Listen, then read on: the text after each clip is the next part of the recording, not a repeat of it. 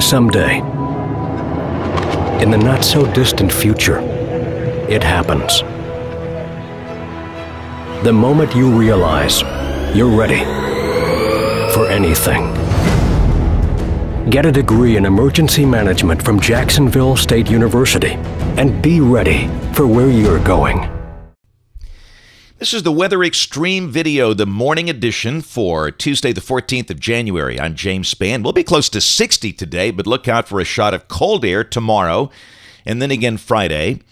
And a few snowflakes possible late tonight, tomorrow morning. That's the big buzz. Let's go in there and take a look. Uh, this is the big picture. You can see the uh, trough axis beginning to push east of the state. That's going to push the clouds out. It should provide a pretty nice day today. Uh, the uh, lingering morning clouds are going to go away soon. The sky should be mostly sunny. The high today, upper 50s, maybe some folks approaching 60. Should be a day kind of like Sunday if you enjoyed that. We're starting off the day with 40s in most uh, places around here. Uh, you can see how it's cleared back up in northwest Alabama. They've got 40 at Haleyville, but the clouds are kind of keeping temperatures up in the 50s down to the southeast of here. But again, it'll be a pretty comfortable day today. New shot of cold air is uh, up north, and we'll feel that uh, tomorrow as we struggle to get out of the 30s during the day.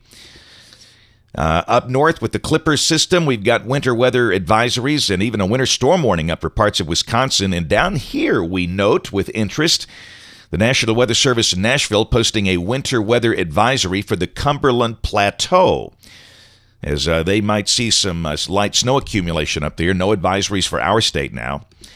This is the rain for the next five days. This carries us through uh, Sunday morning at 6 o'clock, and really there's not much. There could be a little uh, light rain tonight before it changes to snow, but not very much. And of course, this is the map everybody wants to see. This is the chance of greater than one inch of snow from 6 o'clock local time this evening until 6 o'clock tomorrow evening. I find it interesting that uh, this has, you know, 10 to 20% probabilities of that down in southwest Alabama, almost down to Mobile. Uh, of course, the higher numbers are up around the Great Smoky Mountains and points north and east. Uh, and we'll talk in detail about this as we go through modeling here. Let's take a look. This is the uh, GFS, the 06Z run, valid at 12 noon today, and this is at 500 millibars. And you can see uh, broad trough carving out over the east and that new energy up around Des Moines and Minneapolis St. Paul. That's the Clipper system. And down below that, there's a surface low with that feature near Milwaukee. But around here, the day should be nice. Again, uh, highs 57 to 60 with a good deal of sunshine. Clouds come in tonight, and let's go to the old high res NAM, four kilometer resolution. This is 5 o'clock tomorrow, and hey, hey, little batch of uh, snow coming through, snow showers. Uh, this is suggesting the uh, more significant snow activity would be a little north of Birmingham, up in northeast Alabama, as you might expect. 10 o'clock tomorrow morning, that batch of precipitation is on the way out. And um, this is 6 o'clock tomorrow evening, and interesting to note the NAM is still printing out potential for snow flurries or snow showers even late in the day as very cold air aloft makes for a very uh, somewhat unstable atmosphere. These are kind of like the rain showers you see in a summer day, except these are snow showers. So, will we have any snow cover from this? This is the NAM uh, snow depth tomorrow at noon. And basically, it shows potential for a little dusting uh, northeast of Birmingham. Not very much. The GFS shows no snow cover at all here. Again, same time. This is valid at uh, 12 noon. And this is the BuffKit data. And one run of the NAM, the 0Z run, was very aggressive. It, it and, and using the analysis tools within BuffKit, it's spitting out eight uh, tenths of an inch of snow here.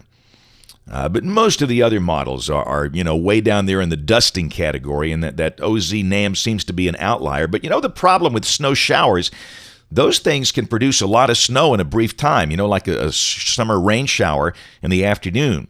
Doesn't do it everywhere, but in some spots, there could be some heavier snow bursts that might make the ground white. but trying to tell you where those heavier snow bursts would be 24 hours in advance is not happening. It's like telling you where it's going to rain on a summer afternoon. It's not happening. So I guess there could be a dusting or a little bit somewhere around here, but for most places, for now, we're not going to mention accumulation. Uh, temperatures will be near freezing tomorrow morning. The uh, uh, GFS is printing 31, so we'll have to watch that. Um, and you might just want to get up a little early tomorrow morning and turn on the, blog and see what's happening, if anything is happening with that. But again, for now, we don't expect it to be a big deal. The cold is the big deal. This is the uh, midday look coming off the GFS. The uh, 540 line way down in the Gulf will struggle to get out of the 30s with a very chilly northwest wind of 10 to 20 miles an hour, maybe gusting higher at times. All right, this is Thursday, and uh, we will warm up. Now, Thursday morning is going to be cold. We'll be in the low 20s, uh, but the high should be 45 to 50 Thursday afternoon. But on Friday, another clipper sharpens up the East Coast trough again, and yep, another shot of cold air. Uh, we'll struggle to get out of the 30s. This one not showing much moisture at all. I guess there could be a few snow flurries maybe Friday morning, but uh, not as much moisture as the system that we're going to see tomorrow. Saturday, as we start the weekend, going to be cold Saturday morning. Uh, we figure lows 17 to 22. And then the high Saturday afternoon in the upper 40s. Sunshine will be out in full supply. This is Sunday. We'll start the day in the 20s, the high in the upper 40s. So kind of chilly over the weekend, especially cold in the morning, especially Saturday morning. Here's uh, Monday of next week. We start to moderate. Highs go up in the 50s. And this is Tuesday, a week from today. Still, we've got broad ridging in the west and troughing in the east, and down below that, a cold front is kind of coming in. And um, this is next week, Thursday, the 23rd. Pretty good looking trough and another cold shot coming in here. So um, that'll deliver more cold air. This is the end of the forecast on the 29th. Westerlies are pretty strong around the nation, and that's an interesting look. Uh, that's a snow look for Tennessee and a rain look here. But of course, this is all speculation. But again, I think the key word for the rest of January will be changeable. We'll see these cold pops. They don't last long. We warm up, turns cold again. Uh, it's going to keep us on our toes. That's it for the Weather Xtreme video this morning. We'll have notes on the blog. Next video here by 4 o'clock this afternoon. If you can, catch us on ABC 3340 News this evening on the live stream or the television side at 4, 5, 6, and 10. Thanks for watching. Have a great day, and God bless.